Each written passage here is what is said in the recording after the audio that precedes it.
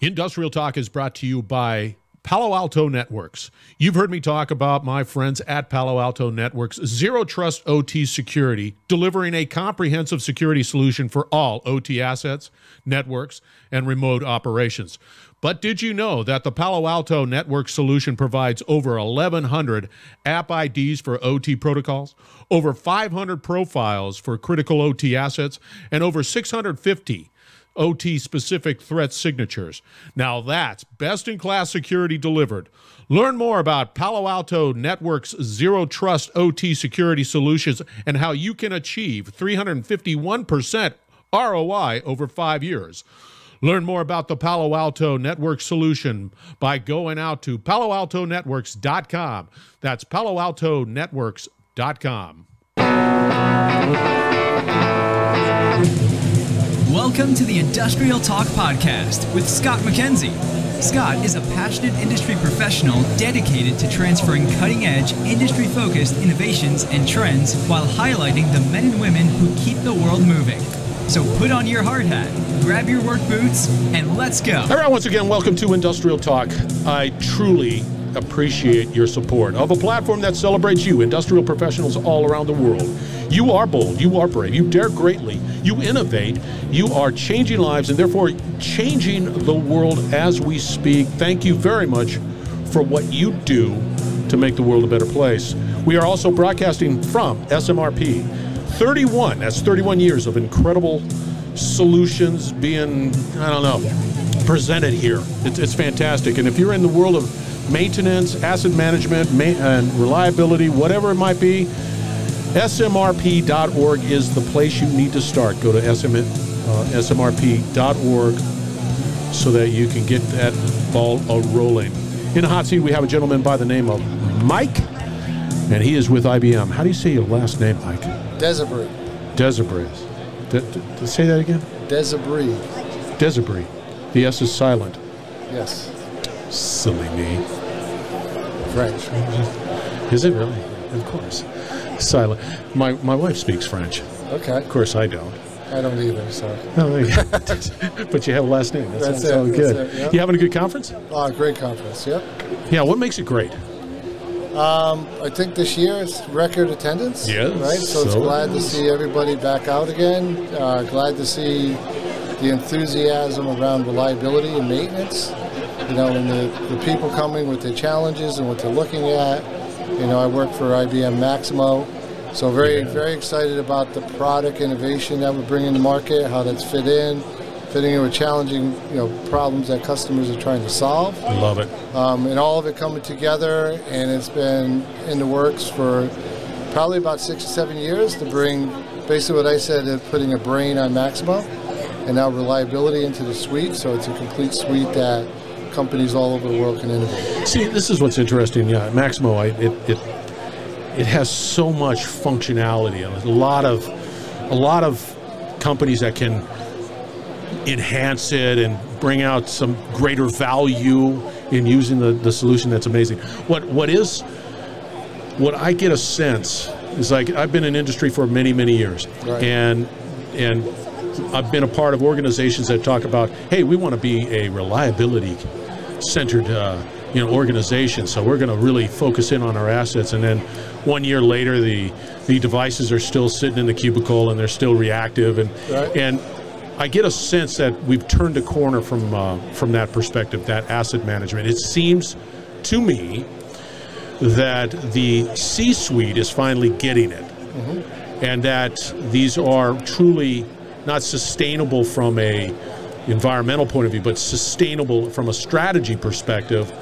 Initiatives that I th- I think that uh, that's important, Right, absolutely. and I, I think that Yeah, I, I see that too. So I think really what the change, you know, probably over the last five to seven years, um, and what technology has done with the C-suite is we brought machine learning and algorithms and analytics where now the C-suite's looking at it and it made maintenance sexy, right? Yeah. Before, maintenance was always that redheaded stepchild in the back room. So now it's on the forefront. We're going to do predict technologies, right? So Yeah. but once they go into it, like you said, it's not a tool. It's not something that you just buy and you install, and all of a sudden you go from reactive to proactive. it's a culture change, right? You got to have that type of culture, reliability culture, quality culture. You know, similar is like a safety culture. You know, it takes time for the people to change and the organization change with the leadership, but because now we have this impetus of technology that's getting simpler and simpler at a very, very rapid pace, companies are seeing the benefits in the business case of actually doing that transformation and want to engage their organizations in that transformation. So that's where I see a lot of traction is that, you know, maintenance reliability because of those predictive technologies are now sexy, right? And the business case is Yeah. easy to do. So you can prove out the business case. If you can increase your uptime by a certain percent, reduce your cost by a certain percent, and you put that across 10 plants, How it's you- significant, right? it's like there's from an operations perspective there's always low hanging fruit. You're always going to get in the beginning you're going to get some really you know wow results and that's really great. Got it. But then after you remove all of those inefficiencies then it becomes more mundane for mm-hmm. lack of a better term. And that it's not as if you're not operating efficiently. It's just that you've removed all of the inefficiencies. Mm-hmm. Yeah, and then that's where it starts from my perspective. The c-suite says oh well, why are we doing that? We're, we're super efficient. Right. and and we- we're not achieving those massive you know gains. Right. So efficiency and effectiveness are two different words, right? So the effectiveness of your maintenance program is you're reducing or eliminating downtime. Right? If you're fixing the same problems over and over again, you can become really efficient at work order management and be able to fix it faster. But that's not the point. The point is to eliminate that failure at its source so you don't have it in the first place. So really maintenance is about not doing maintenance. That's the goal. yes Right? yes Right, that's the goal. You don't want to do maintenance. That's the whole idea of it, and that's where now the technologies are so advanced, and they're now getting so easy to apply that you can actually take good leaps, leapfrog steps and big step function change across your organization as you're changing the culture. Right? now i'm going to walk away with the uh, statement you don't want to do maintenance No, That's the goal. You that's don't. That's the goal. You don't want to do it. because and I had this conversation with a number of uh, other companies. I said, yeah, it, y- maintenance, the spend, maintenance spend from a financial perspective is a one for one. So you, whatever, you know, at the top, you, you know, that one dollar that you had to use in maintenance is one dollar off of the bottom line because you don't get to depreciate the, the, the expenditure. And so that's always been the driver. Sweat the asset as much as you possibly can Right? forego maintenance as much as you possibly can and then do maintenance at the right time Yeah. like at the optimal time not where you're getting a catastrophic failure but you're just like right there got bink whatever that is. And that's where that's where the technologies around monitoring and around predictive, around anomaly detection, around condition-based maintenance are mature enough now that you can apply them efficiently, effectively, in a cost-effective manner, so that you can go to that condition-based approach and then focus on when is the optimal time to do that maintenance. Right? I know I need to do this, but now if I, you know, just use uh, SMRP curves. If I go up that P to F curve, how far can I get up that P to F curve? And the traditional condition-based maintenance only gets us up to a certain point on the knee of that curve. Now we can go much further with these advanced analytics because we're looking at that time series data, IoT, OT over time, and then we can actually start to predict or actually know when something has changed. So you're managing more by Yeah. exception than than guessing when the right time to break in and do maintenance or a line went down, so let's do this extra maintenance that we have or things like that. And then management's also looking at it and becoming more of a partnership with the maintenance reliability organizations because they realize if I can increase my uptime and my throughput, the money that I'm investing in the asset is not a cost, it's an investment, right? And if I'm proactive about that, and if I do it in a way that's based on reliability strategies, like part of Yeah. the product we just launched, you can be very, very effective and efficient at the same time. yeah I, I what always fascinates me is is in in a short period of time and i mean really from a short period of time the the the, innovation the technology has has rapidly progressed. Exactly. I don't know. I still believe that we're at the tip of the iceberg, but this is really quite a renaissance from my perspective um, of of the attention that it's getting. Right. Where do you see this going? What, what, what's like? I mean, put your future hat on. So the future hat. Um, let's talk a little bit about what IBM and Maximo are doing now. That's bringing the future in today. So we just launched a product called Reliability Strategies. So it's a Strategist strategies, strategies. plural. And so what it is, it's a combination of an RCM tool, um, and it's also the FMEA library that comes with it. So it's about 800 assets. So in the past, you would do these studies. It would take you four weeks, five, six people, your best people. Uh, cost you a lot of money. These, these people don't have a lot of time because they're important. Um, so those studies never really get done. Now with an accelerator like this library, you're applying the FMEA. You're not creating the FMEA. So you can apply an RCM study 75% faster and get those same uptime and throughput benefits. Now, what that allows you to do is go further into your asset base so you're more proactive. And because it's based on a failure mode, you're doing the right maintenance at the right time and then applying the technology to support that. Is you're speaking at the innovation center? Is that what you're talking about? That's, that's part of it. And that at the Innovation Center, what we're doing now, you've heard of Chat GPT, Who who hasn't? right? I mean, what have you been living under a rock? Jeez. So if you look at, um, if you take that and let's apply it to reliability, right? Where, where does it fit in? Now, it's not there that's going to take someone's job away, right? It's not going to do that. It's going to Yeah. make really everybody more efficient and effective. And what at IBM, about a third of our company is still R&D. There's about 330,000 people. So we're that old school where we had a certain budget for R&D set aside. We Yeah. still do that. You know, we're a 100-year-old company. And that's how we come up with these innovations. So we're applying those foundational models, those chat GPT models, to build out this library, right? This FMEA library. So we're quickly going to go from 800 to 8,000 assets.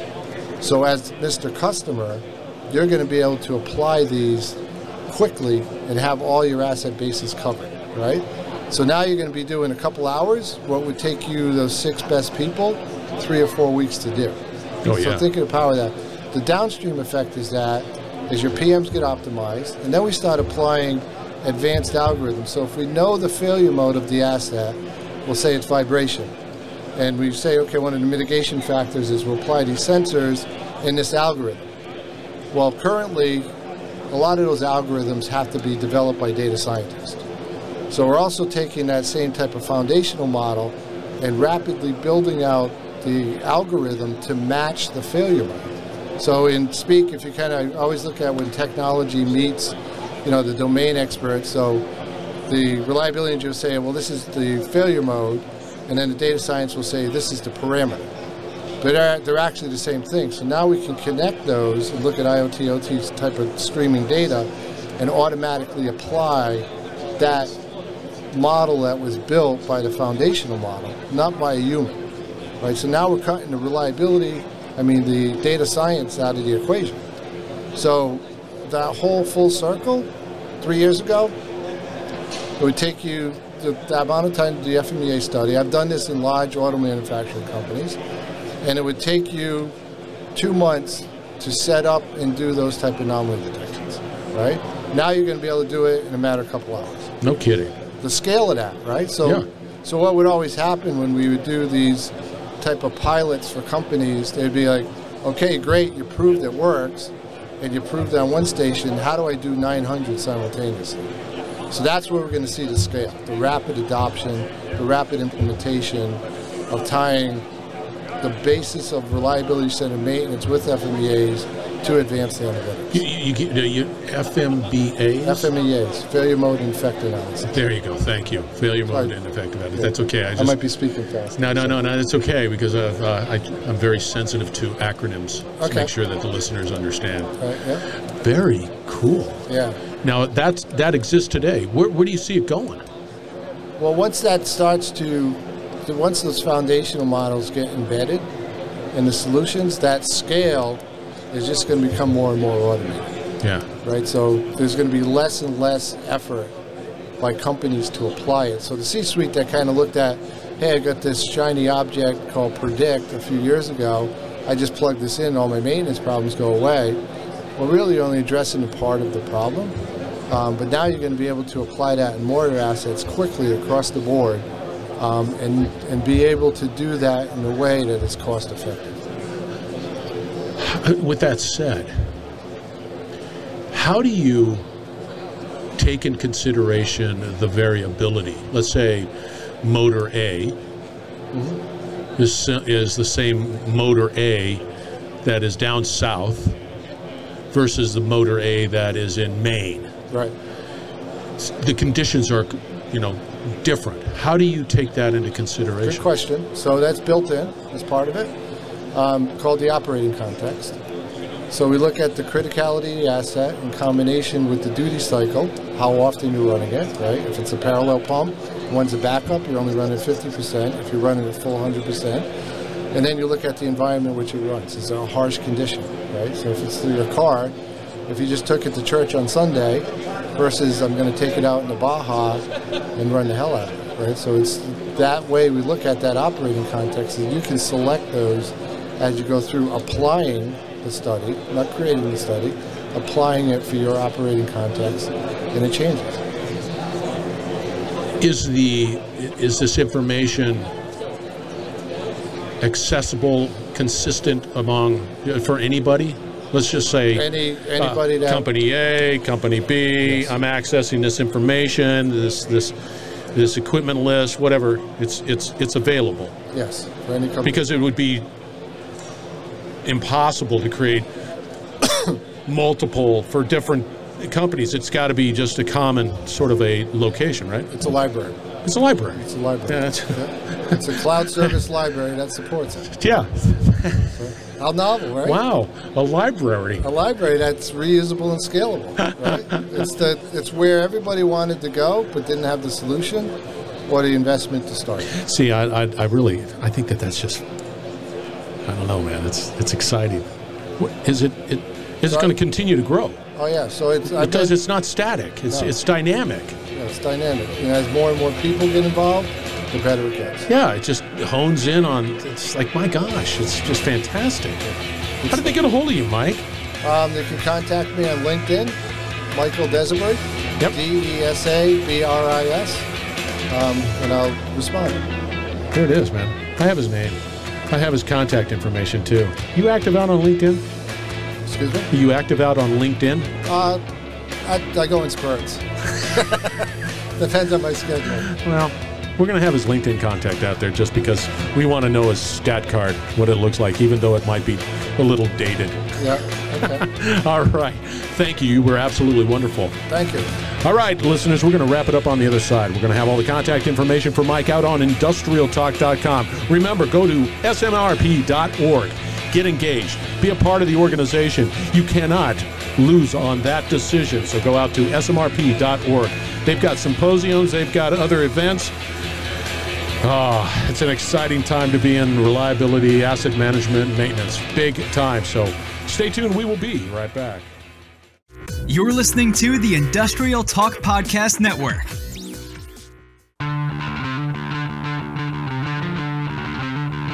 Mike Disbrick. IBM is the company. SMRP was the event. Now, uh, his LinkedIn stat card goes by Michael, so just make a note of it. But don't worry, it's out on Industrial Talk. His contact information, everything you need to know about uh, Mike is out there. Connect with him. A lot of great work being done in the world of Maximo, IBM, all of the stuff to help um, reliability, asset managers, maintenance professionals do a better job. Excellent, excellent conversation. Put SMRP on your calendar. That is a must. If you're in that profession, that is the place for you to be. Go out to smrp.org and find out more. They've got a ton of stuff for you to get engaged. Industrial Talk is here for you. We have we have education, we have podcasts, we can amplify your voice. You reach out to me, go to contacts, just right there. Let's chat. And you'll be talking to me. All right. Be bold, be brave, dare greatly. Hang out with uh, Mike, and you will change the world. We're going to have another great conversation shortly.